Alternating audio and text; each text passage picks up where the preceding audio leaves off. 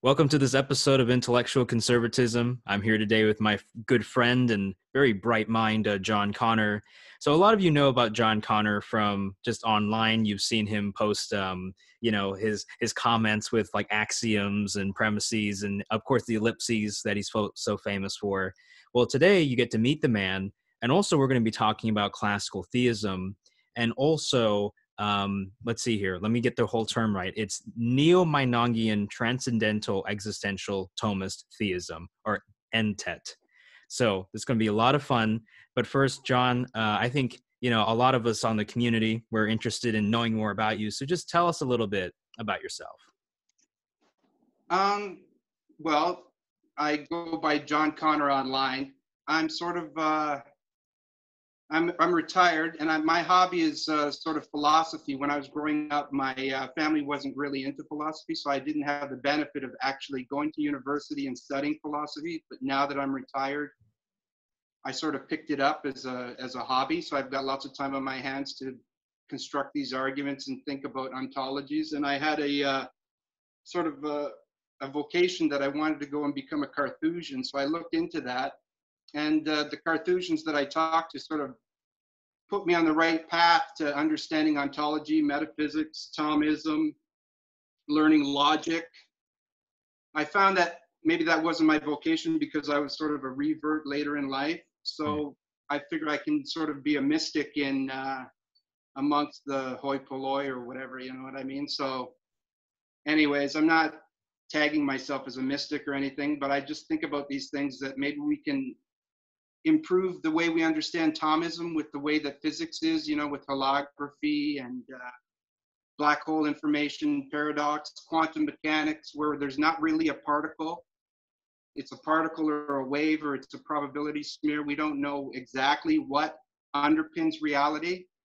So my argument is basically that mind underpins reality. So what do you have any thoughts about that? Well, I was going to ask you actually before we get into that subject. When uh, before you retired, what was your job? Were you like a? I'm guessing a physicist. Uh, that's just my guess. But what were you before you retired?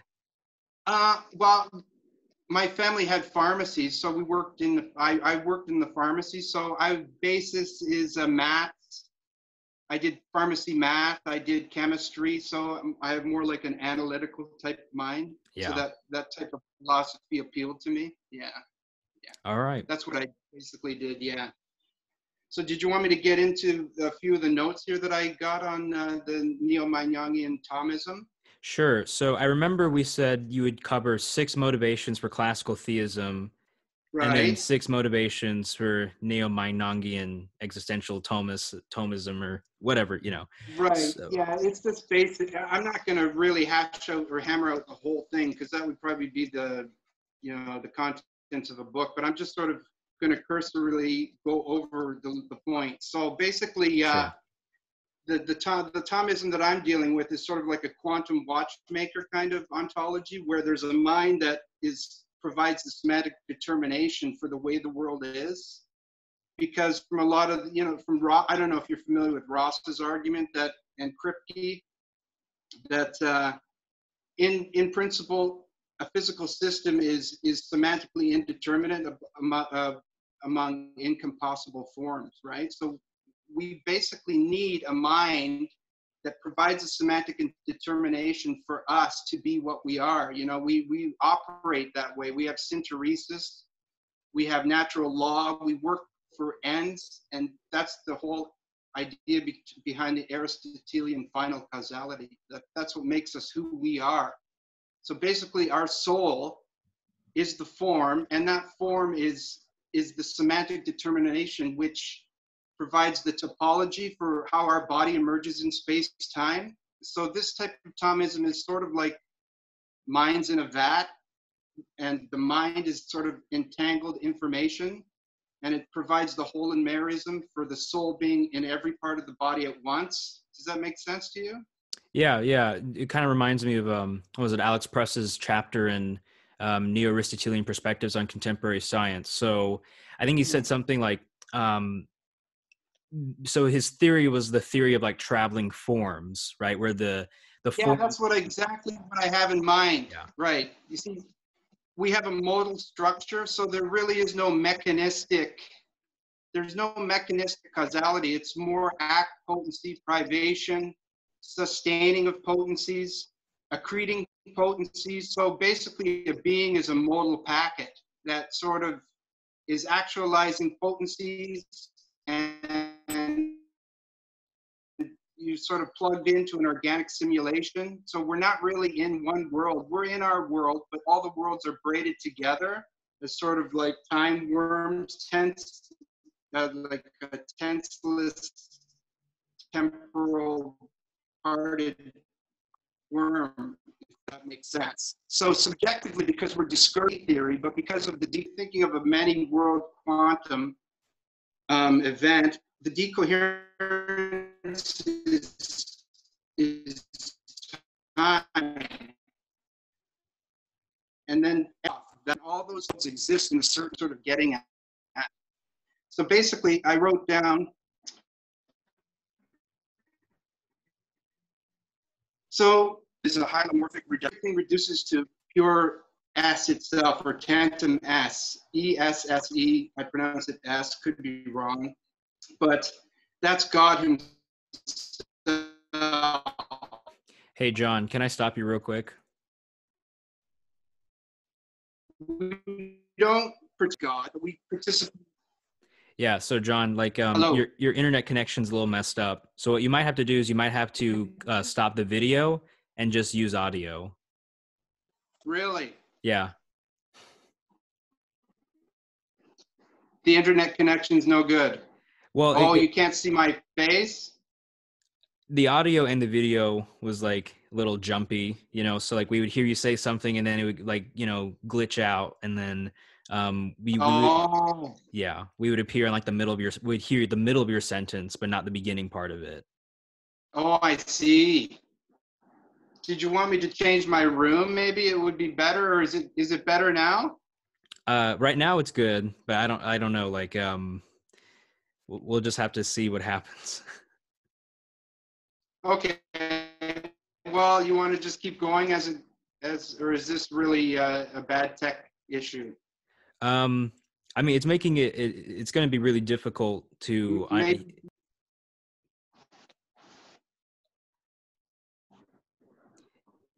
To understand what I'm saying. yeah, it's it's it's like uh, it's really messing up. Uh, so if you click on stop video, then that might help.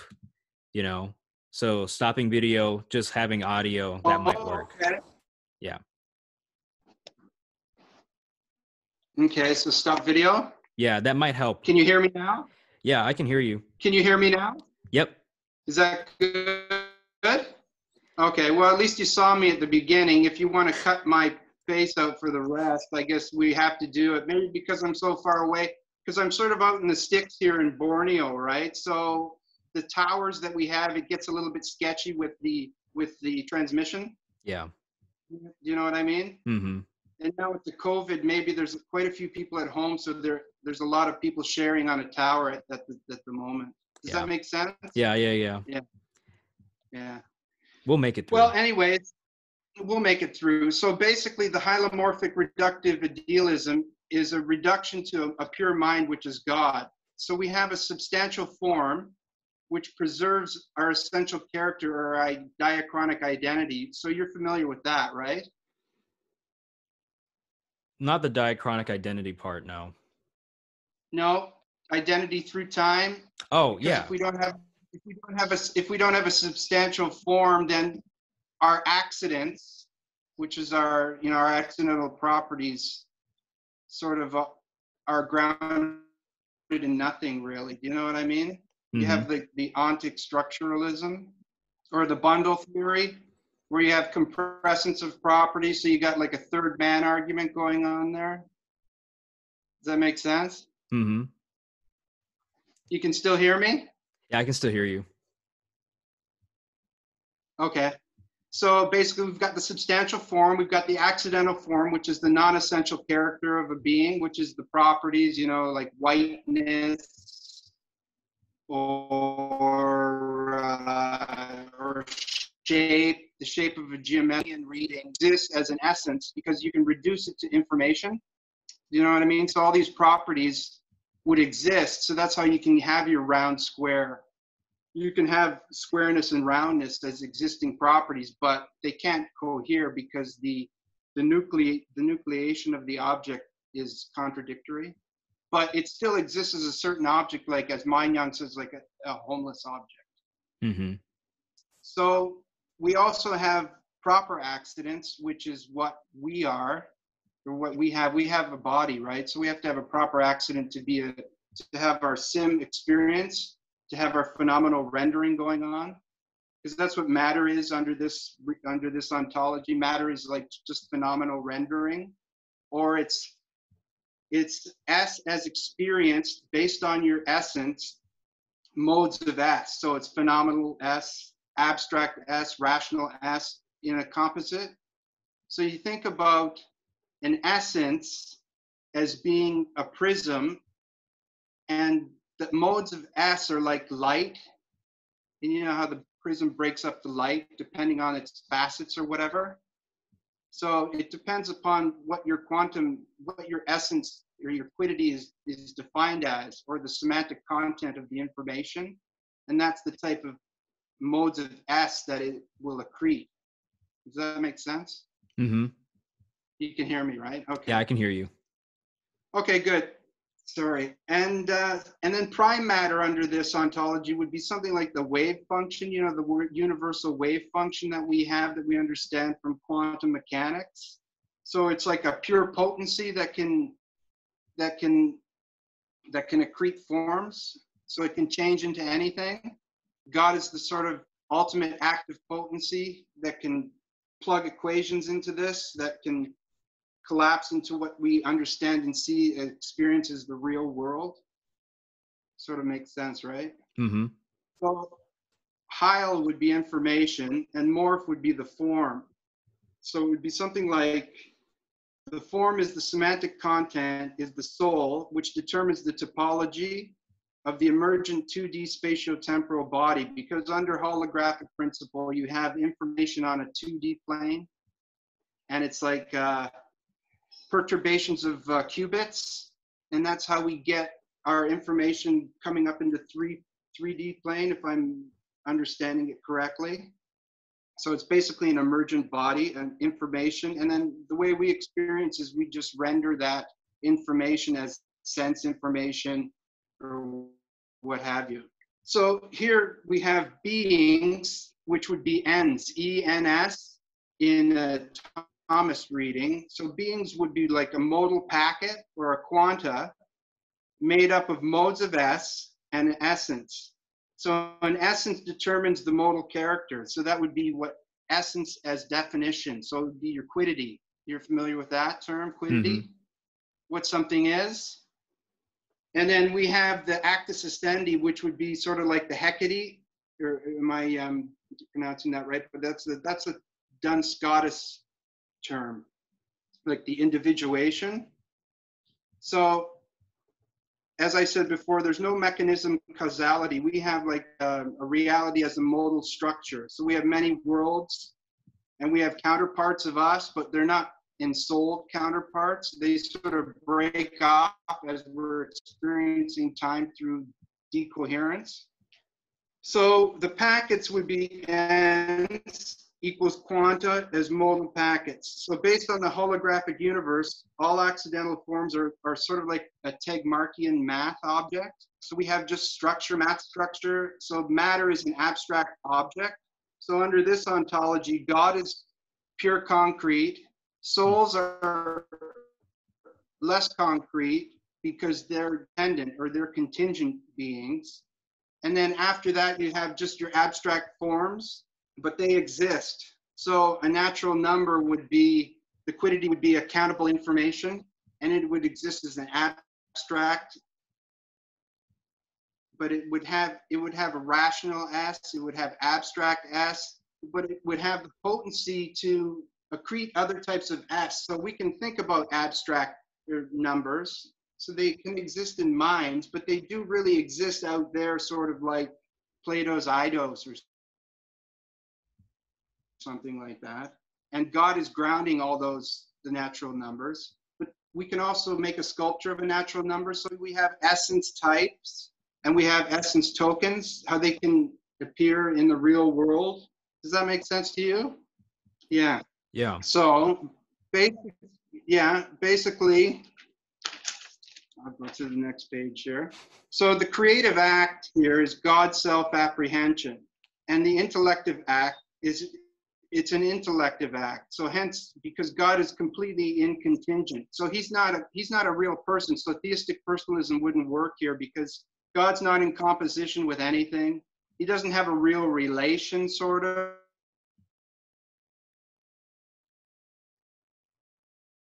with uh, because creation would have an eternal event under mode. So we've always existed as sort of a mode of God's creative act or an attribute of God. But then we're experiencing, we're plugged into that sim, the organic simulation. So it expre- this sort of ontology explains creation ex nihilo. Not that God's doing something and making something ex- external to himself, but what God is doing, he's turning in on himself, which is his modeless experience of himself. And out of that modeless experience of himself, God, we get the shadows of what of divine ideas, and God is seeing all the goodness in himself. That's how we say that uh, bonum est diffusivum si sui. So God apprehends himself, and that act affects creation under modes of es commune.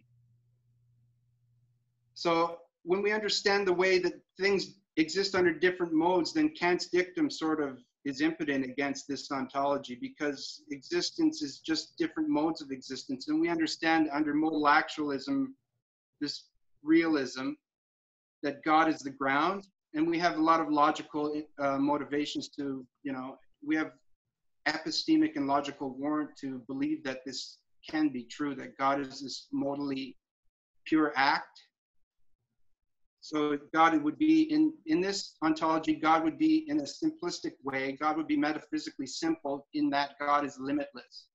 And his creative act is limitless information.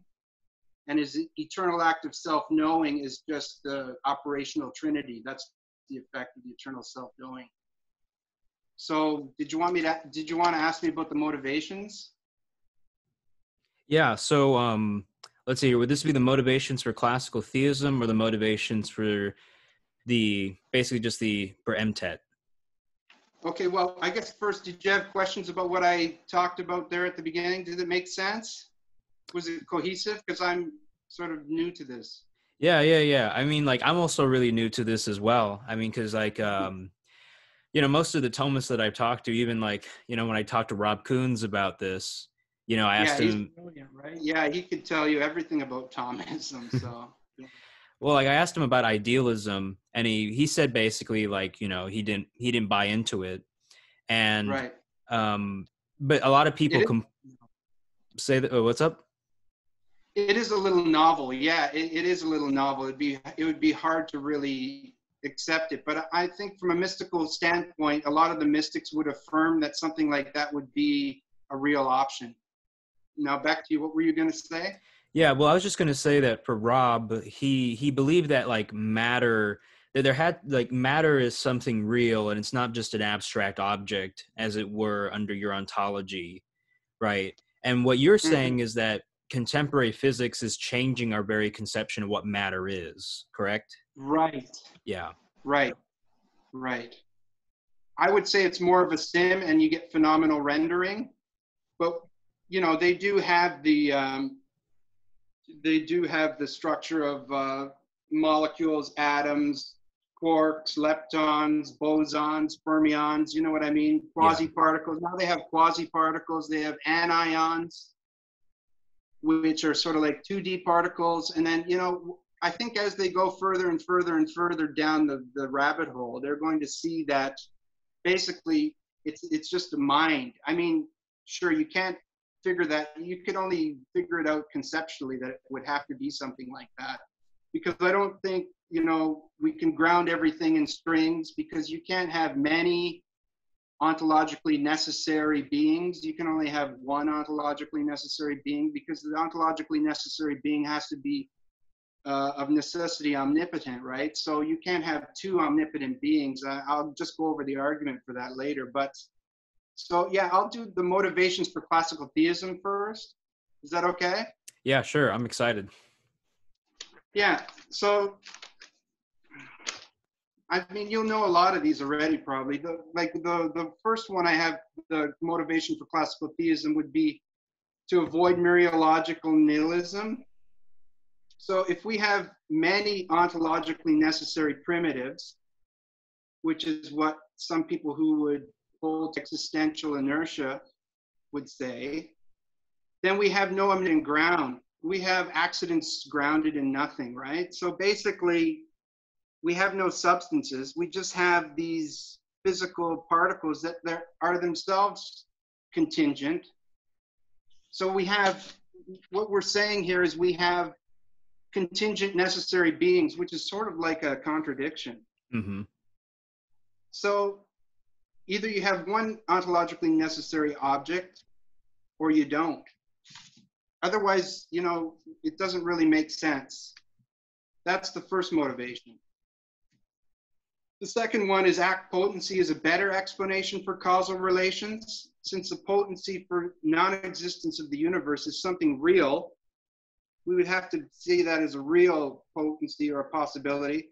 It must be grounded in something real. Like from Quine has a uh, identity statement where if something has a certain property, it has the possibility to ex- uh, instantiate that property. You know, if, if I have the property of being rational, I can instantiate the property of being a French speaker.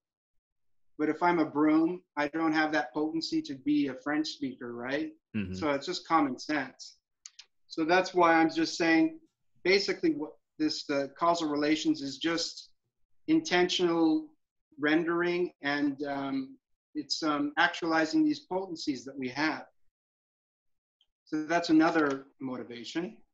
Another one would be the mind body binding problem, because under hylomorphic dualism or idealism, I mean, maybe it wouldn't be so much of a problem at, under hylomorphic dualism, but it would be a problem under ontological dualism or reductive physicalism, because what's how are we reacting? How are we compressing our experience together from just neurons. It just seems to be like Kripke's arguments where he says pain fibers or C fibers firing is not necessarily pain. Mm-hmm. That identity um, argument. So if we if we posit a single composite substance or being that we have the matter or the phenomenal experience as the sense organs informs the hylomorphic soul since the soul is the semantic content for the emergent body, and since the intellect is determinate, this explains human nature as an ordered process towards specific ends. So it's just it's just sort of the binding problem falls away because it's all a uh, an event in the mind.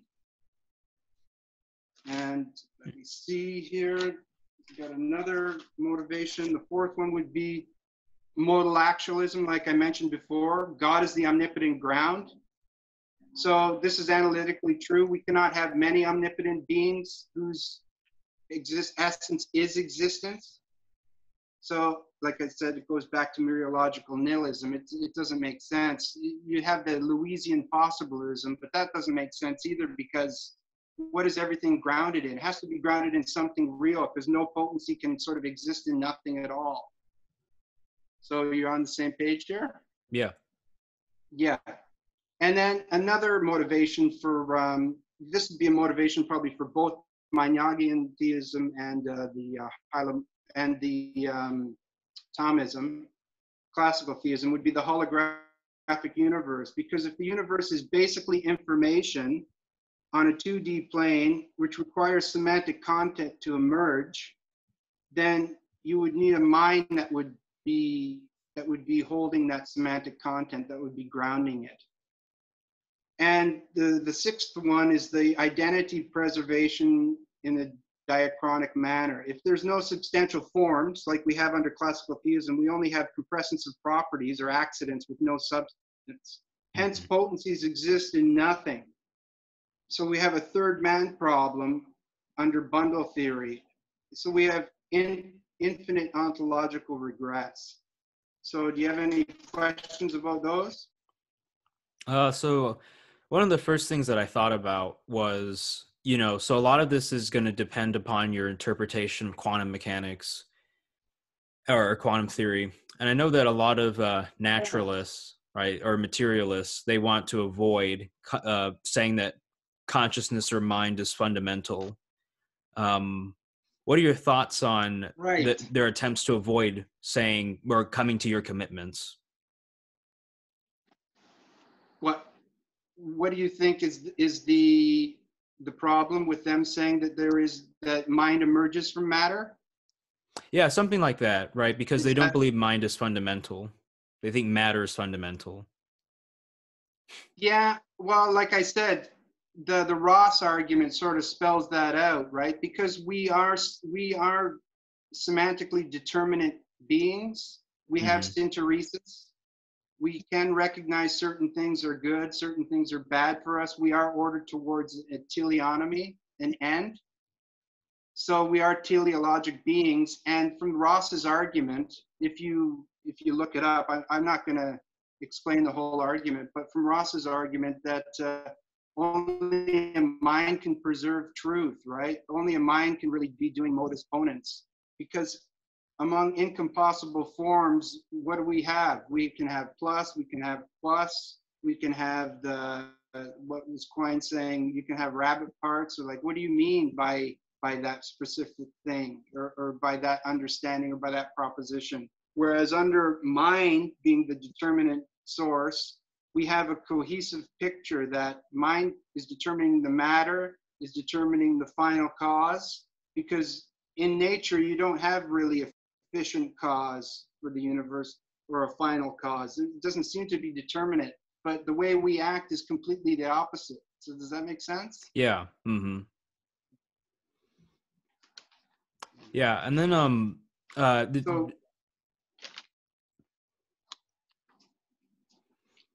yeah, Oh, I was just gonna say, like, um, another question that popped up in my head too.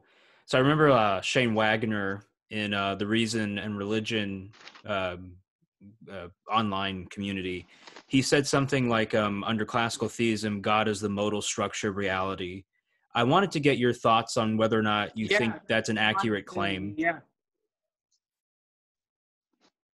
Yeah, I, I would I wouldn't say God himself in his nature is the is because God himself in his nature is modeless, right? Mhm. There's no it's just infinite existence. So there's not any like real univo- univocity or whatever they say in being. God is a different type of being that we can't really understand. But I would say the shadow of what God is, the creative act, the existence of creative beings, God would be that modal structure. So God's creative act is the modal structure.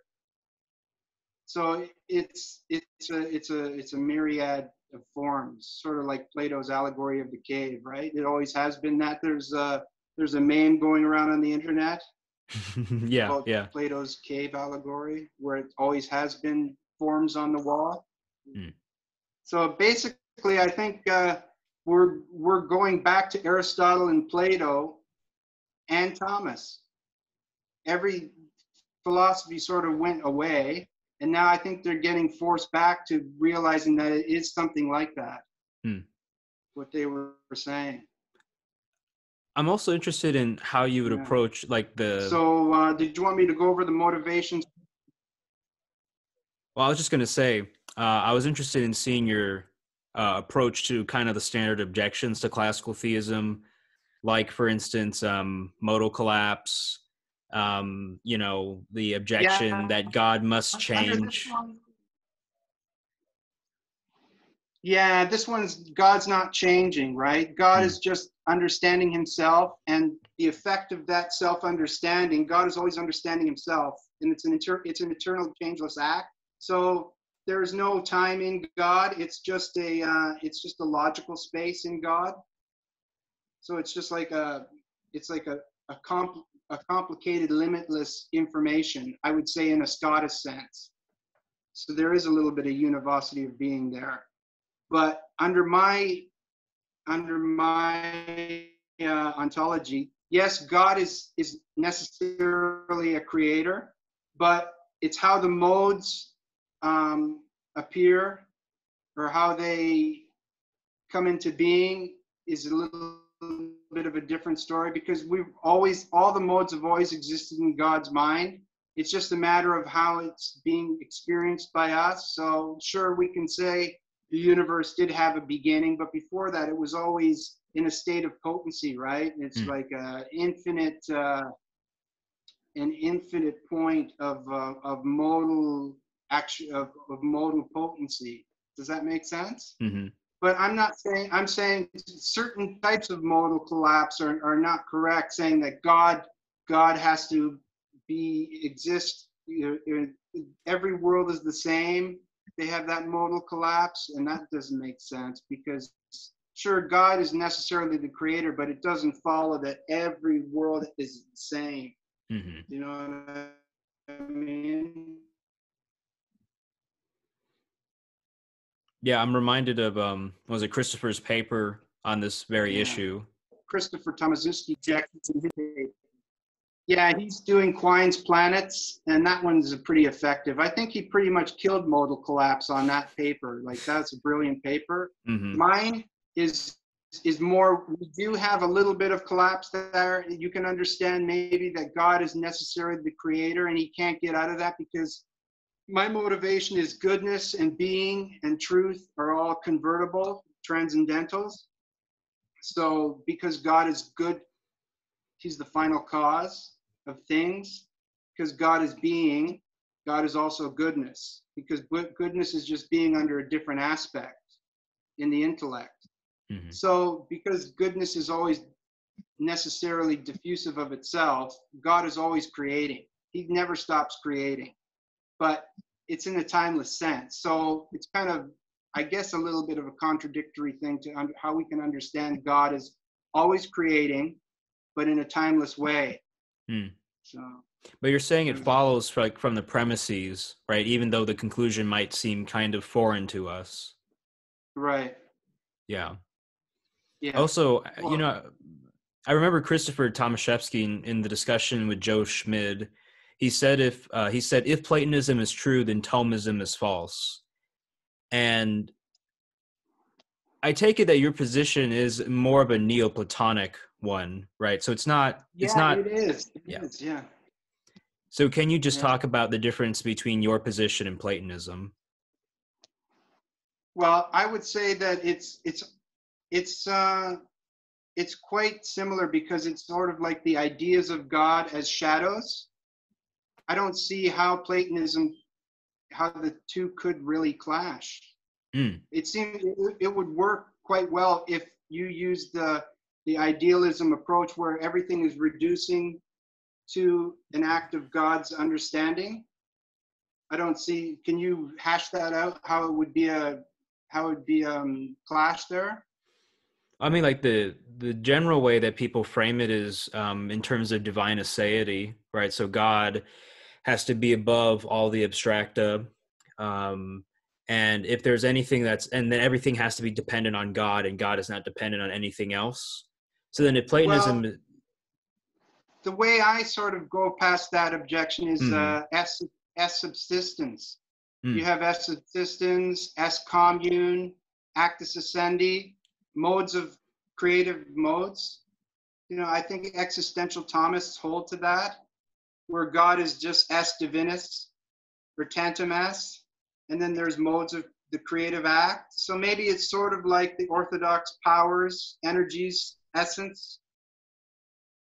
Does that make sense? Like necessary powers that God has, God is still above okay. everything in his own in his own knowing. Yeah, I mean, and you're like you you're you're basically advocating like divine conceptualism. You're not denying that the the abstracta have being or, or, exist, right? Right, right. Um, because yeah, yeah, the abstracta would have to exist. Like math mm-hmm. objects do exist. It's not a construction of the mind. Maybe some objects like that do exist as constructions of human mind, but that would be humans um, sort of discovering or participating in the act of creation.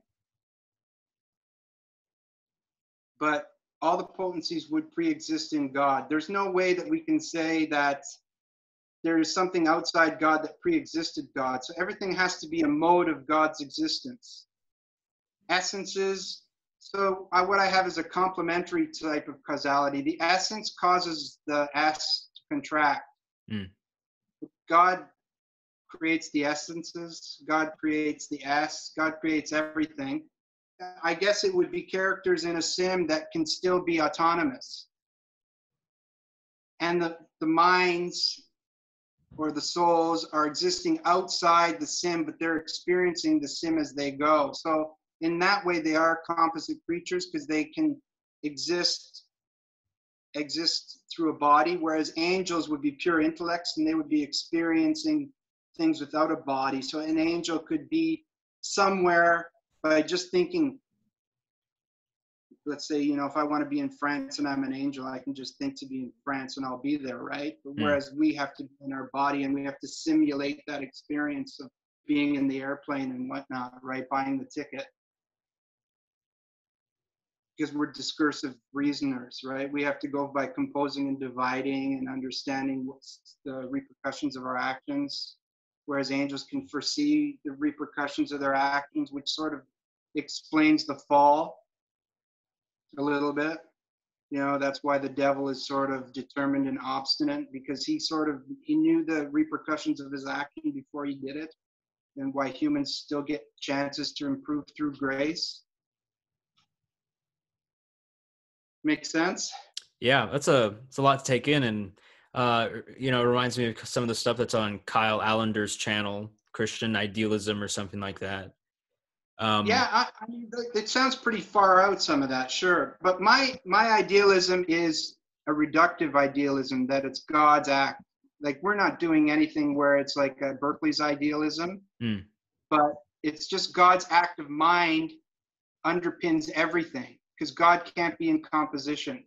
Yeah. So maybe if down the line we see that there is another type of substance other than matter that can sort of contract forms that it's like it's like something that god's created but it's not matter i'll accept that and i'll update this theory right but as it is right now i'm just working by what from what we know that it, it would be more like a sim that like in, in the matrix movie right?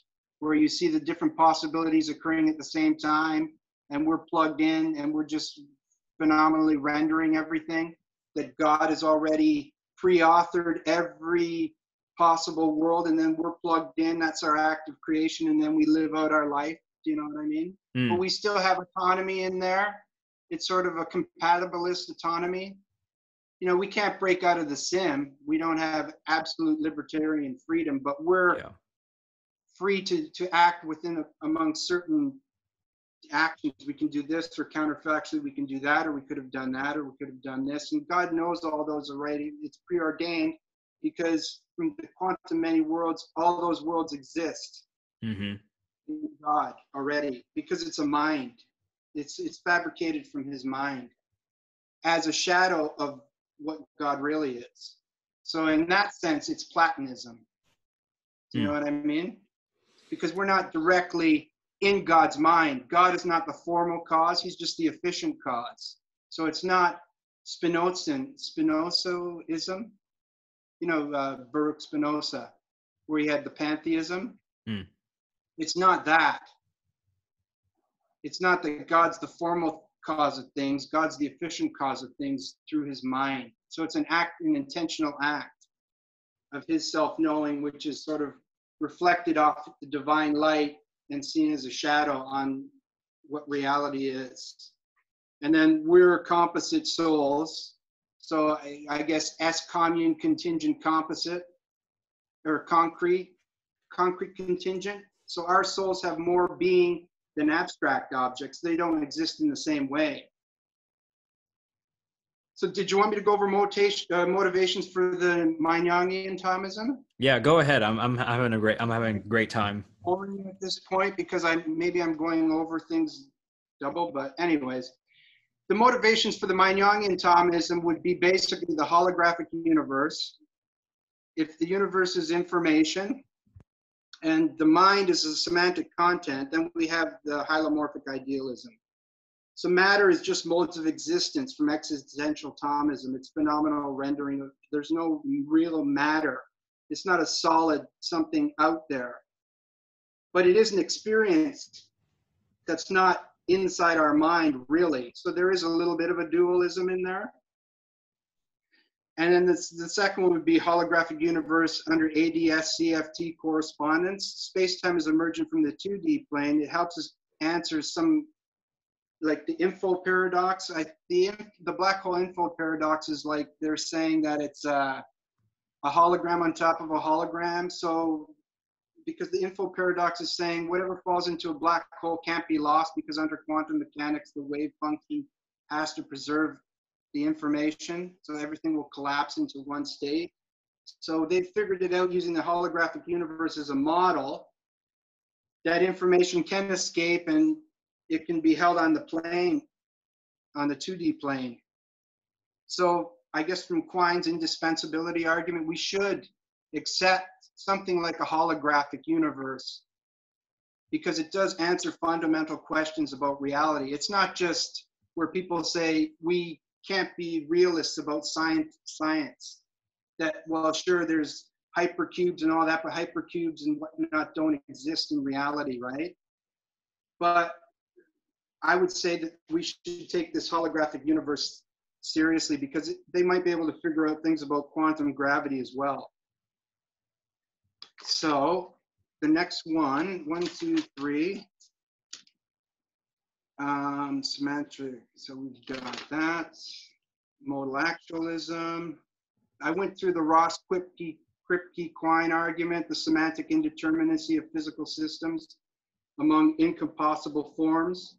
So only minds can preserve semantically determinate truth. Hence, from synteresis and final causality, the soul is a semantically determined body.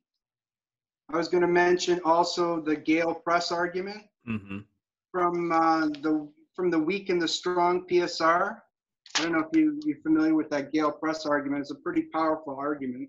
You should no. tell me out. about it. I want to want to learn more about it. Tell me about it. Yeah, it's really it's really quite an interesting argument. It's got the weak PSR that the in a, in a in a possible world there is a possible world that has the same PSR as the real world. So God must be a personal explanation. From the PSR, we can have two types of explanations. Alexander Pruss boils it down. We can have a scientific explanation of facts, or we can have a personal explanation. Mm-hmm. So what he reasons, and he reasons correctly because also he's a brilliant mind, right? But he reasons correctly that the scientific fact is based on a certain uh, on contingent facts. So itself, it's part of the big contingent fact. So if you take the mm. big contingent fact of all contingent facts and you make it into a factor it and you plug it into the PSR, which is for all x and all y, there exists a y such that uh, r y x y is a reason for x and uh, x is a contingent fact you do it in predicate logic then we see that it has to be a personal explanation and it can't be a contingent it has to be an ontologically it has to be logically necessary of itself. It has to be ontologically necessary of itself. It has to be a like uh, Pruss and, and Koons say in their recent paper there has to be one fact to ward off you know skepticism that mm-hmm. explains all the facts. Otherwise we can't be sure about our reasoning right? So this is a pretty brilliant argument that there has to be a mind that's grounding reality. So that's how i get this hylomorphic reductive idealism. This mind the act of this mind is causing reality to be the way it is. So it's a pretty good argument. It's a very long argument but you should read it. The next one is uh, Josh Rasmussen had an argument that I read about uh, thought grounding, and thoughts cannot be determined from matter based on the grounding axes. And it's a pretty complicated argument again, but you have to check it out. I think it's in Wiley or something. That's another one that that ties into Ross that uh, only a mind can be semantically determinate. And I have two more here. I have uh, from Thomas Aquinas' Summa, Part 1, Question 14, Article 4, Respond of God's Knowledge. So I'm just going to read a little bit of Thomas Aquinas. He says, I answer that it must be said that the act of God's intellect is his substance. For if, if his act of understanding were other than his substance, then something else, as the philosopher says, would be the act and perfection of the divine substance, to which the divine substance would be related as potentiality is to act, which is altogether impossible because the act of understanding is the perfection and act of the one understanding. So to understand is not an act passing to anything extrinsic, for it remains in the operator as his own act and perfection, as existence is the perfection of the one existing. Just as existence follows form, so in like manner, to be understood follows the intelligible species, or to understand, I'm sorry, follows the intelligible species. Now, in God, there is no form, which is something other than his existence. From Thomism, God's essence is his existence. Hence, as his essence itself is also his intelligible species, it necessarily follows that his active understanding must be his essence and his existence. So this, I think, sets us up for that reductive hylomorphic idealism. Mm-hmm. God is tantum es, pure concrete being. Yet our being is not God's being, since God is not the direct form, formal cause, but God is the efficient, sustaining cause. So we don't have pantheism under this reductive hylomorphic idealism, but we have an active understanding, which is the highest mode or the highest modal packet, it's no passive potencies, all active potencies. So God is omnipotent in that way, in that He grounds all the potencies. God's not omnipotent in the in the crazy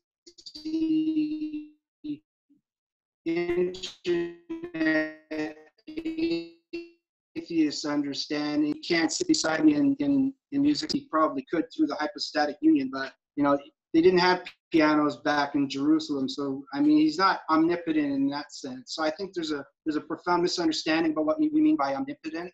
But when you understand modal actualism, then you understand exactly what we mean by this modal, theistic modal realism or the modal actualism that God grounds all potencies. He's all potent, and there can only be one.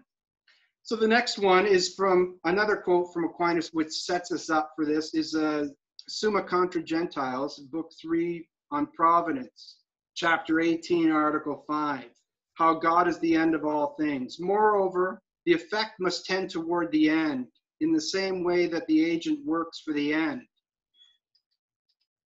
Now, God, who is the first agent of all things, I think the atheist would even accept this. Now, God is the first aid that something is attained by his action, but by for he is not in potency to the possibility of obtaining something, rather, he is in act simply. And as a result, he is a source of enrichment. So things are not ordered to God as to an end, for which something may be obtained, but rather so that they may be in, they may attain himself from himself according to their measure, since he is their end. So this is a pretty powerful thing that Aquinas is saying here. It's sort of like his fourth way. If mm-hmm. you're familiar with Aquinas' fourth way, mm-hmm. that there has to be some highest good that everything is ordered toward, this final causality, this this synteresis in us. So it's another motivation for how a mind determines the end. because mindless matter is not determining the end of anything. It doesn't make sense. It's indeterminate among incompossible forms, as, as Kripke, Ross, Quine said. So it has to be a mind that's determining matter to be a certain way from the holographic universe, and we just follow it on down the lines. So we need a sustaining cause, we need an efficient cause, we need a final cause, because the final cause answers the question why. So that's why I call this ontology a quantum watchmaker kind of ontology. Does that make sense? Yeah. Mm-hmm. Yeah. So I've, this encapsulates the idea of the neo-Meinongian existential Thomism because things find their being by accreting modes of S. Hence, Ross says only a mind can be semantically determinate among incompossible forms. So the mind determines the phenomenal rendering is the info under modes, which is basically our experience of matter, whatever matter is. But basically, matter is information plus mind stuff. So that's that one. Did you have any questions on those motivations? I mean, it's just it's a lot to take in, to be honest. Like this is um this is a lot of this is kind of new for me um in a lot a of ways. What? Did I make it a little bit too wordy? no, it's fine. I, I mean, this. It, I wanted to make it enriching for people. I know it's a little bit novel, and they might think it's weird and out there, but there is there is motivation for it. There is a epistemic warrant, is what the philosophers say, right? Yeah. Mm-hmm. For our ontological commitments, right? So I'm going to stick by my guns and say that it is a mind and there's nothing that God is working in composition to create like a sculpture in that way, but that's totally a metaphor. You know what I mean? When they say God's the great magnet or God is a sculptor or he carried you in our in my troubled times or God is standing beside me, you know, there's a famous line in the cloud of unknowing if you've ever read that treatise. It's written by a Carthusian, anonymous Carthusian, hmm. that when they say, when the spiritual novices understand these words up, in, out, beside, that when they say look up or lift up your heart, it's not looking up. Sure, you can think about looking up, but God is everywhere sustaining us. So it's not in, God is not inside us, but God is in our understanding of everything in that way, he semantically determines us by giving us the form of our body by creating it. So we can be, we can be, uh, we can apprehend intelligible forms. Does that make sense? Mm-hmm. Yeah. Yeah. Uh, that's another book that people should read if they're interested in mysticism, uh, The Cloud of Unknowing. So uh, any questions on that? Um, one of the questions that I had was that it seems as if, you know, I'm thinking about Rasmussen and Felipe Leon's book, um, Is God the Explanation of Everything, or something like that. And, mm-hmm. um, you know, they talked about, I think uh, when my interview with Rasmussen, he talked about how him and um, Leon, they eventually, at the end of the book, almost came to a kind of agreement where they both agreed that like something at the foundation like i, I, I i'm not going to try to quote rasmussen but the idea was that they almost agreed on what the fundamental nature reality is. The only thing that separated them was whether or not it was a mind or not. And right and what you were what you were basically arguing is is that it has to be a mind right and it's it's not going to be necessarily a uh, univocally an intellect like ours but it's certainly going to have no strong similarities or similarities of some sort. It, right. Yeah. Right. That's how they say we were made in the image and likeness of God. So, you know, we do have a will, we do have an intellect. We can choose among how our world is going to be created by us. God gives us that option through the many worlds that are already created that he, we can work through that world and sort of make it our own that's where sort of where universalism fails, right? Because mm. God's ontologically complete. Yeah. It has no real relation. So that's not going to impugn his goodness if if some of the sims fail, right? God is sustaining them out of his goodness, but if it's an act of the mind, there's not really, you know, flesh burning and all that. It's just a tormented consciousness. Do you Hmm. understand what I'm saying? Yeah. God's not there, you know. There's not people there with with uh, making fires and burning burning flesh. Although it's semantically rendered that way because, like they say, the uh, the lightsome body or the glorified body has four attributes, and likewise, the there's four attri- attributes for the bodies perdi- or for the souls in perdition, right?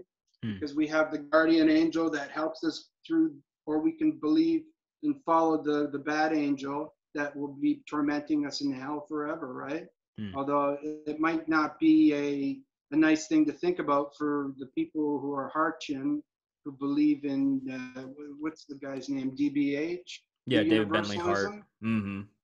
But I think, yeah, I think there's a case for that because if if God is saving everybody, I mean, this it's probably not part of the thing, but I'll make a comment on it. Sure. That if God is saving everybody, then He's acting of necessity. So you know, Aquinas has a good uh, argument for that in the Summa Contra Gentiles that God is not acting like a natural stone rolling down the hill. He doesn't act out of necessity, but He acts out of His will.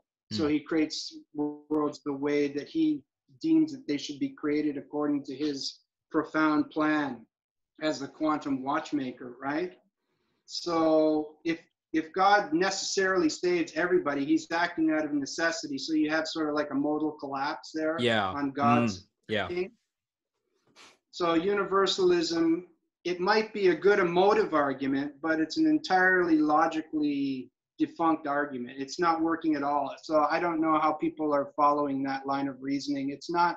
It's not. Uh, I, I I think the Thomists are too clever to fall for that type of reasoning.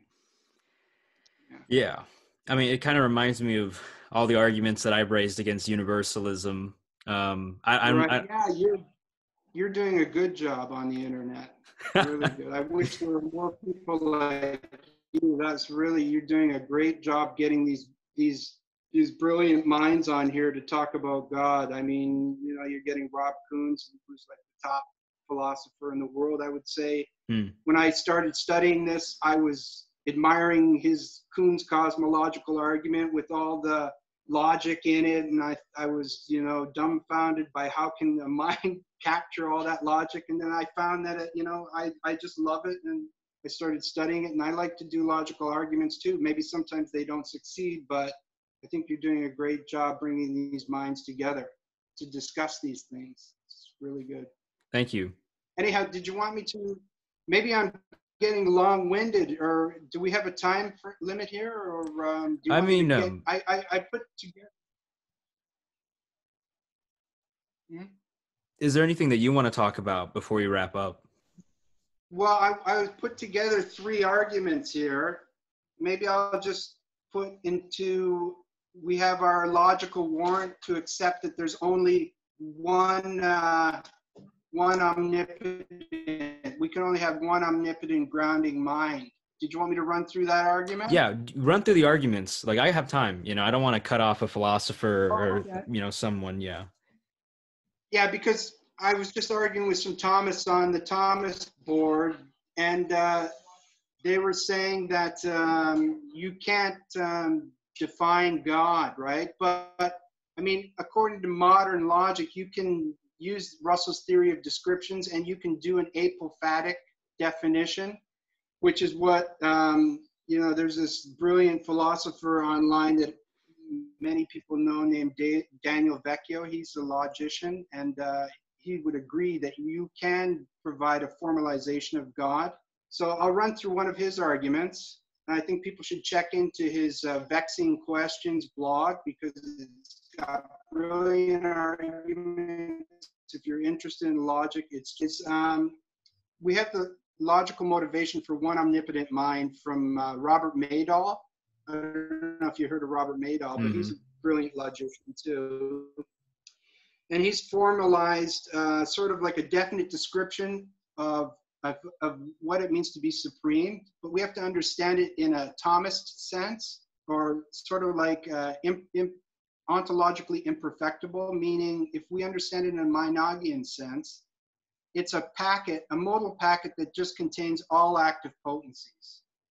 And analytically, you can't have two of those things because there would be one active potency that the other would have to separate the two from, uh, if you study um, relational logic, you, you, you just have, you need one property that differentiates in the set from the other omnipotent being.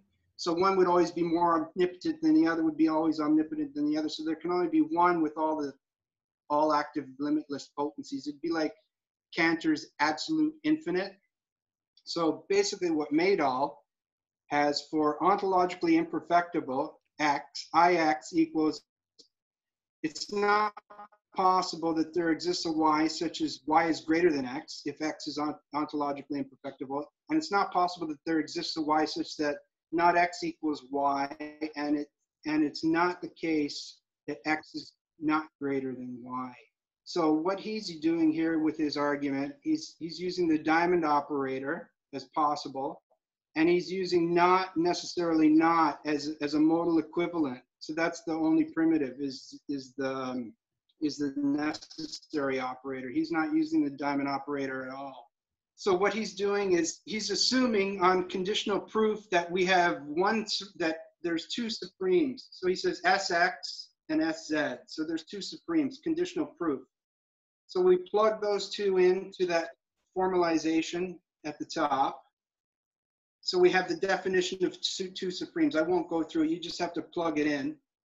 Then you go to line three. So he has not, not necessarily not exists a y such as GYZ. So you get simplification on line two. Then for all Y, not GYZ, through double negation, and then it's necessary exclusion, and then you get quantifier negation. Then line five, you get not GXZ. So it's not the case that X is greater than Z. So you get that through your standard um, logical rules. That would be for universal instantiation. Then you go to line six and you simplify line two again. So then line seven gives you for all y, it's not the case, open brackets, that not x equals y, and not the case that gxy through six double negation, necessary elimination, and quantifier negation. So then line eight, you get not, bracket, not x equals z, and not gxz. Seven universal instantiation. Then line nine, you get gxz or x equals z through De Morgan's rule, double negation, and commutation. But then you have to look back at line five where you already you've already demonstrated that not gxz. So yeah, you dispense the first part of the disjunction there. You say it's not GXZ, so it has to be X equals Z. So from five and nine dis disjunctive syllogism, you have X equals Z. So on a conditional proof, if you have two supremes, then X equals Z. They're all, they're both have to be the same. And I think Zalta does that on one of his, uh, he, he goes through the logic of the ontological argument. He has a big long complicated paper and he uses proof through lemmas or something where um, he uses a non-logical axiom of greater than alone, proving that there can only be one thing that that meets definite description. So it has to be, if there's two, then X has to be Z. So hmm. then we go to line 11, we have if X is ontologically imperfectible and Z is ontologically imperfectible, then X equals Z, two through 10 conditional proof. Then necessarily, because we have total modal scope on all the elements, we have, we can introduce necessary. So necessarily for all X and for all Z, if IX and IZ, this implies that X equals Z. So this gives us, this is a theorem in modal logic. So there's some logic and epistemic warrant for accepting the fact that if a mind goes is if a mind is grounding reality, it has to be only one mind. I mean, Aquinas has tons of arguments about why there can only be one mind, but I, I just added this one because it's quite powerful because we can formalize a definition of what it means to be omnipotent, contrary to what the Thomists say. and we can prove that it's a theorem, and we can formalize that if there's two omnipotent things, they both have to be the same thing. So it would basically be uh, Fregean sense reference. It would be like the same referent, but at just a different sense. So if let's say we're talking about Allah and we're talking about the God of Abraham or we're talking about the God of Isaac or whatever, it's just the same first thing that we're referencing. Does that make sense? Mm-hmm. Yeah. Yeah. So I went through a little bit of basic modal logic there, but if anybody wants to check it on, it's it's on Mo, um, Robert Maydole's modal model of God. So to get into a little bit of the uh, of the Meinongian flair, we've got this excellent argument that uh, Daniel Vecchio he just posted it on online, and he uses um, an epistemic operator called uh, the copyright symbol, which is it is conceivable that. And it's a brilliant way to do it because if we're doing a binary relation such that y is greater than x, if we if we use c as a predicate, then we can't really modify that binary relation. But if we use it as an operator, we can. So we can say God is the unique thing under uh, Russell's theory of descriptions that it's not copyright or it's not conceivable that there exists a y such that y is greater than x. But we don't understand this in a subjective sense. We understand this in the Thomistic essence equals existence or a Meinongian Außersein. Außersein is you can talk about things with Sosein or character, or we can talk about things with Sein, being. So that's how the sort of the Meinongian and the Thomism work together with Außersein and the real distinction. I think Daniel Vecchio really, really um, captured that well here using the copyright operator. He also uses an ontological operator in some of his arguments, and that works well with Meinongianism too. He uses actual. It's the at, at with the squiggle, so he uses at. So if something's actual, he differentiates between fictional and actual. I guess under Meinongianism, you can use fictional also as an operator, but I, I haven't done that. I've used backwards E as exclusive as an operator. So this is sort of like a new logic system that nobody really uses. Hmm.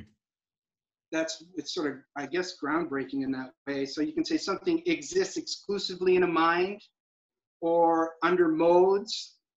But anyways, he has for all x. If x is not fictional, then x is real. That's the first premise. Then he has for all x, if x is fictional, then it's conceivable that there exists a y such that y is greater than x. Because for fictional objects, under my, the reason I, the fictional object under my ontology has a lesser degree or a lesser a modal packet with less powers or less potencies. So like a fictional object can think.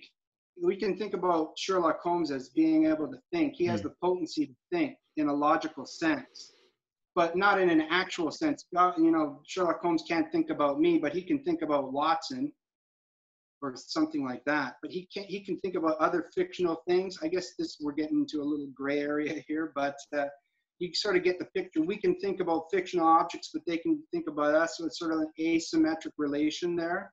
So he captures that well here. So then he goes through the assumption through universal instantiation. He says he assumes God is fictional which is what some atheists are telling us. They say, well, the modal ground of everything is a unicorn or the spaghetti monster, but it can't be, right? Because it wouldn't work with the formalization we have here. Because if you plug the spaghetti monster in here, like you have your perfect island, if you plug that into Maydole, then you don't have complete um, modal um, scope of the modal operator. You just have, you say, you're saying something is perfect and it's an island. So you right away you, you're entering a contradiction in your definite description, so it won't work. Because you say something is perfect and it's an island, but it can't be perfect and an island because it's in composition already if you're understanding it properly. Do you understand what I'm saying? Mm-hmm, yeah. So basically, what Daniel Vecchio is doing here, he's saying God is a fiction. So if God's a fiction, then there's something that has a better, a bigger modal packet under universal instantiation. So then it's conceivable that something is greater. Then he plugs it into the theory, Russell's theory of descriptions. So exists an X, not conceivable that exists a Y such that Y is greater than X. And for all Z, it's not conceivable there exists a Y such that Y is greater than Z until Z equals X, and it's conceivable. So right away, we see that there's a, there's a contradiction in our uh, theory of descriptions. So there can't be one thing that exists under contradiction under Jungianism. So if you apply a couple more rules, existential instantiation, and then um, what is it, commutation and association, then you do simplification, then you get your you you get your uh, contradiction. So you have to dispense right away. That's the rule of logic. You have to dispense your assumption that God is a fiction. So then we just have 310 discharge assumption God is not a fiction. If God is not a fiction under universal instantiation, then God is a real. If God is a real, you know, God exists from modus ponens. So it's a pretty brilliant Meinongian simple argument. But if you you have to understand the ontology behind it. So when we understand that God exists under a certain mode as a as a modeless state of being, then the Kant's objection of existence is not a predicate sort of falls away because he's not ex- understanding existence in the correct way. Mm. Does that make sense? Mm. Can you can you unpack that one more time? So just how does um, Kant's objection that existence is not a predicate falls apart? Well, it falls apart because we're saying, um, like Moore said, if something is actual and something is fictional, mm. then we're predicating existence. Do you know what I mean? Yeah, yeah. We're saying it exists in the actual world, but not in the fictional world, or it exists in both. So an actual being can exist in the actual world and the fictional world as thinking about the fictional world, but the fictional being cannot exist in the actual world because the fictional being cannot think the actual world. You know what I mean? Yeah. So he can't even exist eminently in there. So mm. basically, what we're saying is God doesn't exist in any world, really. If you understand God correctly, God is the modal ground. God's creative act is the modal ground of all worlds. God is modeless. So that's where this argument works. We can do a modal ontological argument based on this, which goes over Plantinga's argument because Plantinga's argument fails due to the defeater that maybe God can't exist in one world, right? So he has God as constrained by worlds. He's existing in a world which is not the proper understanding of God. That's why his modal ontological argument fails mm. right from the get go. Because if he's saying God exists in one world, then he's sort of saying he's going from an epistemic notion. He's saying, well, God can exist in all the worlds, then God must exist in the actual world. But that doesn't really fly because the real, under his ontology, the the the the, the possible worlds don't exist, but in only in our minds, right? So he's moving from equivocating on existence. But this argument is not equivocating on existence. It's saying there has to be one ground. And if there if God is not fictional, he has to be that ground. Do you see what I'm saying? Mm, so yeah. God is not in a world God is the foundation of all worlds. So no world can exist without God. That's how it's we have more powerful modal ontological arguments under this ontology. Does that make sense? Yeah, that makes makes total sense to me. Yeah. I think the hangup that people have on this one is that like how can properties exist? Hmm or yeah. like you know how can we have a, a, round square? So what i'm saying is um, under Jungianism, i had a couple more arguments but i don't want to bore you guys on it. I'll just go to under Jungianism, how things the modal landscape is working. Like how we can say that properties such as round or square exist. So how we have to understand it is like from a tegmarkian mathematical universe hypothesis. He has his ensemble where if we use math and topology, we can say that um, the equation for square is this, or volume is this. So volume implies the property of of having shape. So we're saying in that sense, shape exists as an equation. So with our minds, what we're doing is when we're rendering, we're taking the equation for shape. We don't see shape really in reality. We're seeing sort of underlying it, it's like a digital physics way of seeing reality, but it comes out as if we are seeing shape in our mind, but we're seeing, so equation exists, the shape, the equation for shape, the equation for square. We can put those two together, but they don't work because as a nuclear property, we can only talk about it as a Sosein, but not a Sein being. It can't have existence because it's got contradictory properties, right? So that's the way my sort of motivation for giving the Meinongian element. So something like a natural number can exist because its quiddity is such that it can be rendered in digital physics as an equation. So you see how sort of holographic universe is working with Thomism and essences and quiddities? Yeah. Does that sort of fly in your mind? Uh, as of now, yes you know like um i mean it seems to make sense and and even even too if there are any thomists with hesitations i think you know the fact that we believe that god is the right is the foundation of reality the supreme reality and he's intellect and he's simple i mean this idea that like right. mind is the fundamental source should not be as troubling as it is you know and i think no. i think even too like um we we've been kind of poisoned by materialism and microphysicalism yeah. because people right. people cannot think beyond those paradigms. So when you talk about yeah. properties existing or neo or Meinongianism, they just don't know what to do with it, you know. So they they right. literally are put in a box, yeah. you know, and they can't think outside the box. Sometimes, yes, right. That's why, like, when somebody will say, "I'll hear a philosopher say," well that's that would be a non-existent object like right away how can you be a philosopher and say that that's a non-existent object when you've thought about it yeah. You know what i mean? So mm-hmm. in some respect it is an object. There can't be right away you're causing a contradiction. That's where Young is succeeding. In a way that object has an existence.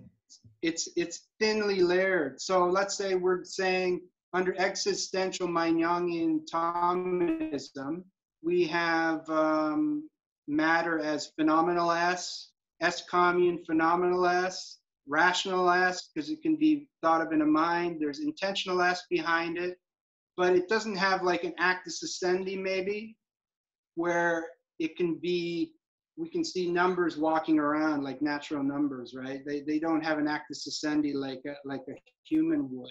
So they can't be rendered in that way because that's not part of their their packet, their modal packet. They don't have that uh, formal potency to to walk. You know what I mean? So that's yeah. how we can understand it as things existing under different modes of S, but with quiddities that can contract that S. So they do exist, and it is a sort of Platonism because God is sustaining it as S subsistence right? But maybe it, it's it's difficult for people to understand. You have to read a little bit on existential Thomism, and it's mm. like I'm syncretizing the two, which is what Aquinas did in his day. You know, he would be syncretizing two different schools of thought and try to make it into one thing, a coherent thought. So I think I have some warrant here, logical warrant to to go with what I'm talking about even though it might not be perfect idealism, it's sort of like a reductive idealism. So I just had this one extra page. I didn't, I, I forgot it. I'll, I'll read it out now. It's like, if we look at the modal landscape, we need to understand God as that which cannot admit of more active potency. Since a physical system in principle always admits of myriad passive potencies, because a physical system has all these passive potencies. So it's always acted upon and acting on other things. The omnipotent ground must be a metaphysical mind or a non physical mind or Cantor's absolute infinity. In its creative act of self-apprehension. So hence the omnipotent ground cannot be a math object or a fiction, since such objects have limited or constrained modal packets under the Meinongian ontology. So a modal packet is a way to describe the powers of a quiddity or an essence with its contracted modes of S, and it becomes a quantum of being. So we can understand essences, and essence exists in a, maybe in, as Avicenna would say, or as John Duns Scotus, we have merely possibles, we have actuals, we have impossibles. Impossibles are dependent on minds to deem that they're impossible. So, uh, under this Thomistic Meinongian existentialism, a quantum of being is something that is essence with all of its modes of existence that is existing in logical space and it's it's doing causation through act potency privation and it's sustained by god.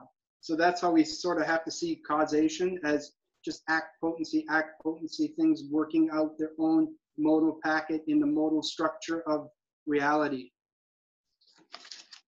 So a natural number has an essence type, it's countable information, it has sign, yet it can exist as a token under different modes of composition. So it has potent accidents, a sculpture of a natural number, or it can exist in the mind of a fiction, or, you know, let's say in a comic book, there's something that's thinking the number five and it has that type of existence.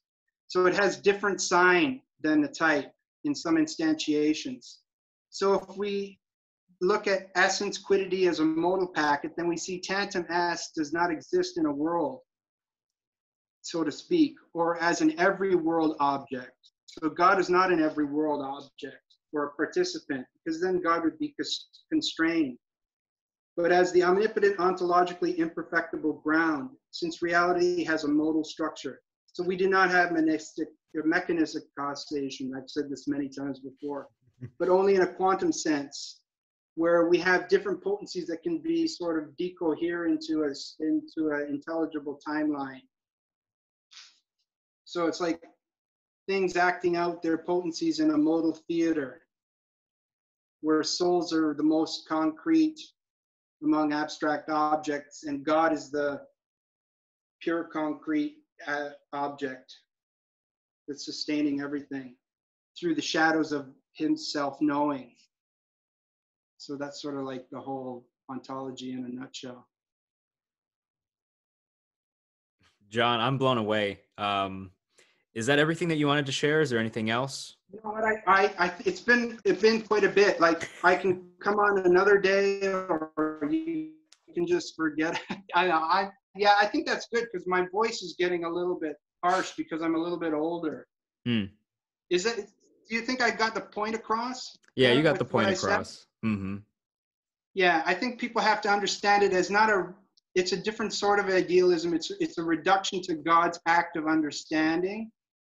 And if in the interim we under we we discover more about reality, maybe we can update it a bit, right? Hmm. So I hope people don't sort of just jettison the idea and say, well, that's just uh, sophistry or madness. Mm. that, it has a real, there, there are some logical grounds in there. I mean, I have lots of other logical arguments that I can go through, but we'd be here for the rest of the afternoon, right? or the rest of the night for me. Oh yeah, the rest of the night for you, yeah. And I'm mm. sorry about the, the tower here. It must be it must be overused tower. Like I said, we're here in Borneo, and sometimes the the reception is not good. Hmm. So, yeah. just one last question. Um, yeah. Would you? So, I'm thinking about. Uh, you know, I have so many things on my reading list. I have so many projects that I'm doing right now. But um, would you like a book that? What book would you recommend for understanding, or what books would you recommend for understanding a lot of what you've given and for people to chew on? So, for instance, um, okay, a, a good book I have, a really good book in understanding existential Thomism and what we, mean of quanta being and things like that is the ultimate reducibility of essence to existence in existential metaphysics by William E. Carlo. Mm. Have you heard of that book? No, I've not. That's one heck of a title too. Yeah, it's quite a profound book. It's very good, but it has a lot of, uh, it might have a lot of Latin footnotes in it, which is sad, but you'd get the gist of existential Thomism from that. And let me see, another good book. Hmm. I would, uh, I would urge people to read, you know, you could look up on the internet, you wouldn't want to maybe read a book by, uh, by Meinong. It might be in German, right? You'd have to get it in, a, in an English translation, but you'd probably just want to look up the Stanford, uh, the Meinong's Jungle. You can you can Google that Meinong's Jungle, and you can work on that, and then you can see how the the the idea of Außersein sort of works with the idea of the Thomist um, real distinction between essence and existence. So you want to look up that the existential Thomism, and hmm, I can't really think off the top of my head because there's just so many books. Hmm. You want to look up something that has to do with the holographic universe. So if you can read anything about that, like the ADS CFT correspondence. So look up papers about that, about holographic universe, black hole information paradox, uh, quantum many worlds, the Everett, the, the Everett um, notion of the quantum many worlds as the universal wave function being something real, so we can understand it as prime matter. Um, I, I think that would be about it. Like, other than reading, like, well, I've read so much on Thomas Aquinas that it's crazy, right? So, Mm. I don't know. You'd have to really read quite a bit on Thomas Aquinas. John Duns Scotus sort of is in there a little bit. Avicenna is good because he talks about possibles. Anything Avicenna, John Duns Scotus, he uh, talks about God as a first principle. That would be a good book to read because he talks about final causality in that one. So yeah, I would definitely check out John Duns Scotus's on God as a first principle. Have you heard of that book, the treatise? It's like a big long argument that's tons and tons and tons of articles. It's a few, I don't know, maybe 50 pages, something. It's just a huge argument and it gives the rationale behind how God is a final cause, how you can't have a accidental order without an efficient order of causality. So Don, John Duns Scotus is another good one to look into, yeah because he's Yeah. got that notion of merely possible essence that can be actualized. That's another argument I was going to go through, but I don't think that we have enough time for that because another rationale to understand God is that he can't be actualized. So God is either impossible or God is merely possible or God is complete. He can't be merely possible because from his definite description as Robert Maydole, he has to be ontologically imperfectible. So, if God is possible, God exists. He can make that jump, and I think that's a pretty elegant uh, argument. If uh, there's a couple of uh, discussions of- it on the internet, you can check it out. It's like uh, John Duns Scotus modal argument discussion. Hmm.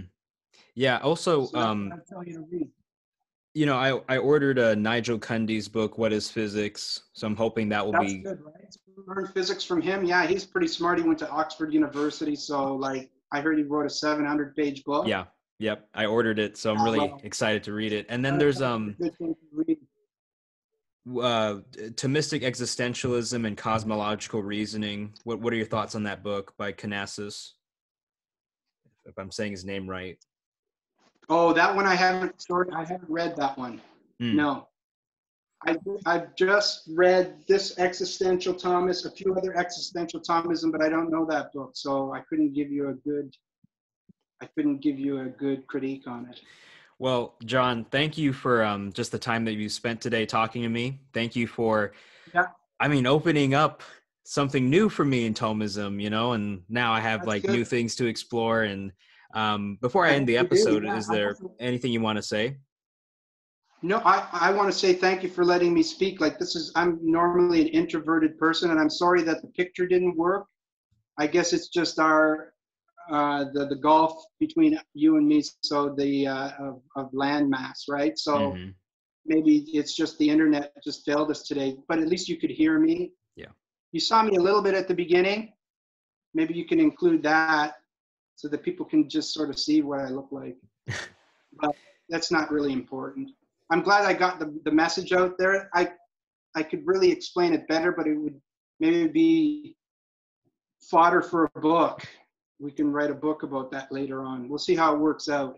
Yeah, if you write a book, I'll I'll be sure to buy it. Oh, that would be great. Okay. I appreciate all your time. All right. Thank you, John. Okay, take care.